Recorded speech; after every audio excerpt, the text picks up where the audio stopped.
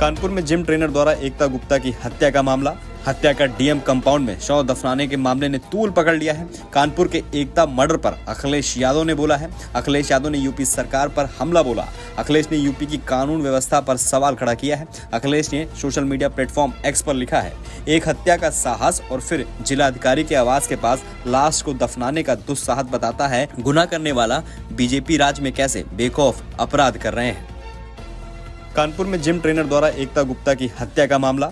हत्या का DM compound में शव दफनाने के मामले ने तूल पकड़ लिया है। कानपुर के एकता मर्डर पर अखिलेश यादव ने बोला है। अखिलेश यादव ने यूपी सरकार पर हमला बोला। अखिलेश ने यूपी की कानून व्यवस्था पर सवाल खड़ा किया है। अखिलेश ने सोशल मीडिया प्लेटफॉर्म एक्स पर लिखा है, एक हत्या का साहस और फिर जिलाधिकारी के आवास के पास लाश को दफनाने का दुस्साहस बताता है गुना करने वाला बीजेपी राज में कैसे बेखौफ अपराध कर रहे हैं।